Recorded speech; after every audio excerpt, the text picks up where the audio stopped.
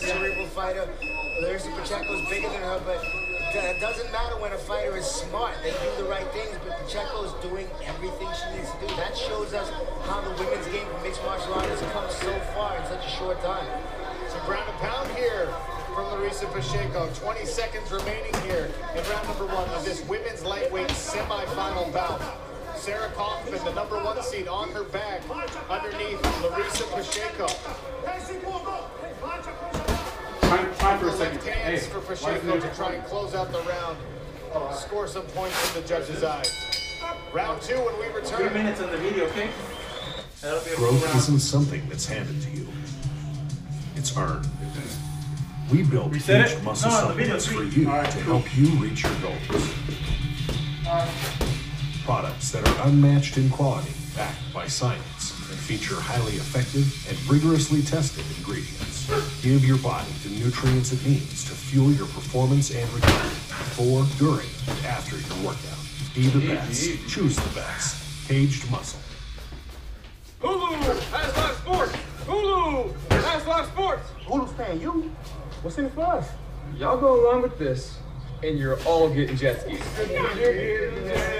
Hulu has live sports.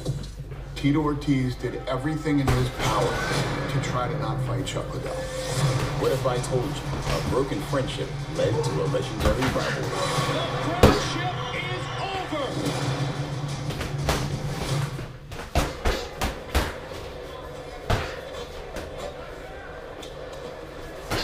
Sean O'Connell, Randy Couture, Yves Edwards, cage side, women's lightweight semifinal action. Larissa Pacheco in the black and gray, Sarah Kaufman in the red. The number one seed, Sarah Kaufman, spent a good amount of that first round, Randy, on her back underneath the attack of Larissa Pacheco. Yeah, we talk about conserving energy from there, but she also lost the round from there.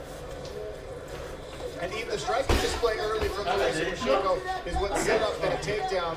She's trying to stay at distance, use her size advantage. Stay at distance, use a size advantage, and throw straight punches. She's going straight down the pipe. Now Sarah's moving her head and trying to slip as she comes in. And as we've seen Larissa miss a little more this round. So Sarah's making adjustments. Kaufman's got a little cut right over her left ear. It's causing that little bit of blood. Oh, Nice right hand there lands for Larissa Pacheco. And a hook on the exit. Heads up.